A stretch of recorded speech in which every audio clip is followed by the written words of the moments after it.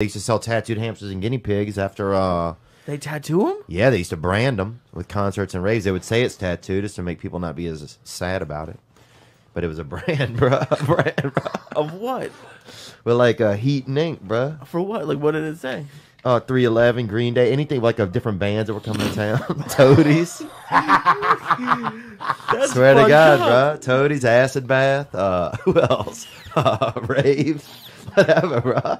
We used to truck these hams into the city and fucking vend them, bro.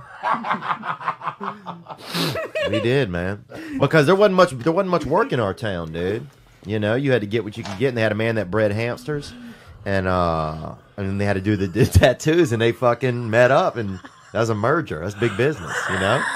And they started. uh A merger. they started doing it. Man, I got me some 300 mouse in my house and shit.